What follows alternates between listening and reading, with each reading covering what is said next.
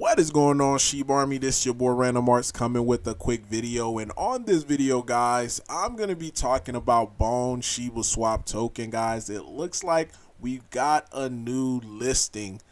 Bone Shiba Swap Token got listed on a Turkish exchange, guys. So before I dive into it, like always, if you're new to the channel, make sure you hit that like button, hit that subscribe button Love to hear you guys' thoughts and opinion about Bone Shiba Swap Token.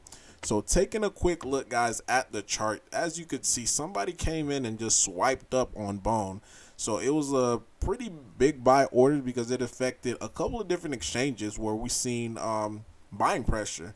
So maybe somebody might know something. I did post on Twitter, uh, you know, asking like, hey, we didn't receive an update about Shibarium, you know, last night does this mean that we may be able to see mainnet today? You know, that's still up in the air. Um, so if if it does go live, I'll probably make another video just to be able to do some more tutorials on Shibarium. But as of right now, no mainnet is up. Uh, so staking any of that, you can't do it as of yet. And again, once those things are up, I sure, you know, I'm gonna make a video for you guys. But to take a look, guys, at the exchange that listed Bone, it says it is called ICRYPEX. Um, and they announced that 10 cryptocurrencies are open for trading on IC, you know, that exchange that I just named off. So if we take a look at coin market cap as far as daily volume that this exchange see, it's right around 60 million guys and the key thing with these exchanges even if it's not a huge or major exchanges it's still going to count for something.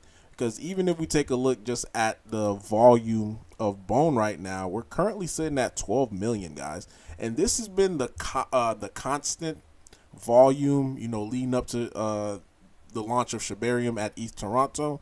It was right around 12 million 14 million 15 million. So having these exchanges list bone is going to add up.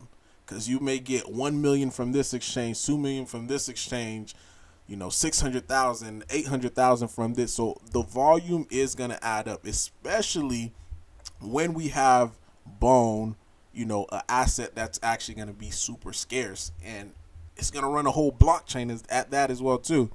So the more and more exchange that we get like i mentioned that starts doing volume on bone the better it's going to be on that demand side because we're taking care of the supply right now guys by staking bone away and by Bone being, you know, with validators, delegators, then new projects that's coming into the space. Um, I actually, uh, like I mentioned before, um, I had a project reached out to me, so I'm actually in talks with a project right now that's looking to build on Shibarium as soon as it launches, guys. So I'll be able to give you guys more details about that if I decide to actually uh, take, you know, to sponsor this uh, this this new project.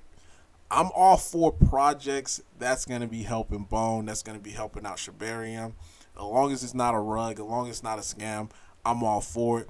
But seeing, you know, what I'm seeing right now with Bone, guys, I think it's almost that time. So hopefully some insider knows something that caused this big spike up to happen because, hey, that means Shibarium might be nine. But let me know, guys, in the comment down below your thoughts, your opinion about all this. Happy to see another new listing, guys.